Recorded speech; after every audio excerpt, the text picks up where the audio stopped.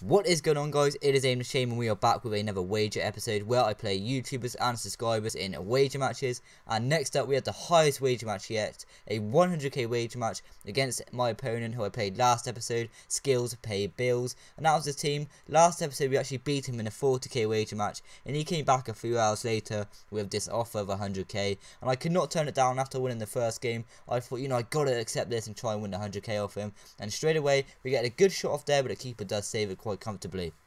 Next up though, Marcus Jr. there, nearly loses the ball but still manages to get control over there. Looks for the cross, can't really see one, so he ends up losing the ball there, but luckily win it back. He gets a shot off and the keeper saves it once again, but we are creating a few chances here. But then once again, he gets his opportunity there to Podolski. Podolski's got a beast of a left foot, but unfortunately he's on the wrong foot there, and the keeper does save that opportunity. So both of us having a few chances there, both looking quite tense, and I really wanted to make sure I got the first goal of this match. And Neto Berola gets me that goal perfectly, got that one goal advantage, looking great. And of course, he is also locked in as well, so no worries about that at all. And uh, once again, guys, if you, if you have any threats about playing me, then simply just do not play me. But I promise you guys, as you'll see in these episodes, I always play wager matches if I lose. And there you are, guys. Once again, Marcus Jr. steps up, making that 2 0 to us. Looking great. That 2 goal advantage. 100k at stake. Things could not look at. Things just couldn't be any worse for us. Uh, things couldn't be any better for us at the moment. Just living a dream. And once again, his keeper had an absolute shocker there and just parries that into the back of the net. We win this match 3 0. Very unlucky for him, but we're going to take that 100k. And I'm sure he'll come back for some more wager matches later. So, my highest wager stake there has been won, and we do get the 100k reward. But next up, guys we played someone called Andre M99, and uh, this is for a 25k wager match here, guys. And uh, as you see, we're just getting our kits already, and there was actually red latency. Not sure if you saw that, but you know, usually I think you know I just go with it anyway, because usually setting up a wager match is actually quite a lot of effort. And by the time I get that far, I don't really want to just cancel the match. So usually I just play with it, whatever the connection is. But that was one of the biggest mistakes I've done so far in this series. This was such a hard, such a hard game to play with. I'm sure he, he would also back up on this. The game was very, very laggy.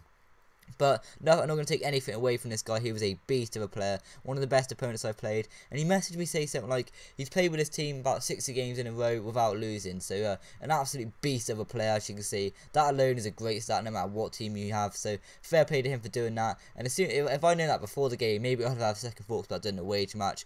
But uh, you know, at the moment it's a one all there, so still like still looking fairly decent. But he scores that goal there with Carlos Eduardo, and then I go 2-1 down, and I knew that this guy was a strong opponent, and I knew that the, the, the connection was awful. It really wasn't looking good for me.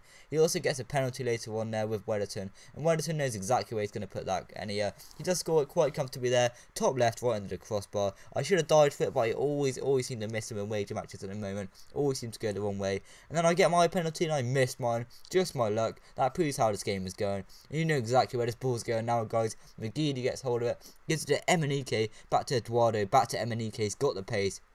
Emenike is a beast of a player. Bought my keeper out, kind of got fed up. He uh, just gets an easy, uh, easy sweaty goal there, making that 4-1. So he wins the game. What I do here, guys, I actually, uh, I don't know if you ever had this, but my tea was like on the table, and I, I was 4-1, and I just kind of fed, got fed up. I just quit. So get shamed on me for quitting there. But you know, guys, it was an awful connection. I wasn't going to get back in the game. I thought it just made sense for both of us to hurry up the game. And of course, I quit, and I'm not going to be one of those idiots that didn't start making up excuses. I quit, paid him straight away, and it was all sorted. And as you see there. We do lose 25k, but that's not too bad, guys. We won 100k the game before, so I wasn't too bothered at all. But that is the end of the episode, guys. There'll be another one out shortly. And as you see, current earnings 595k.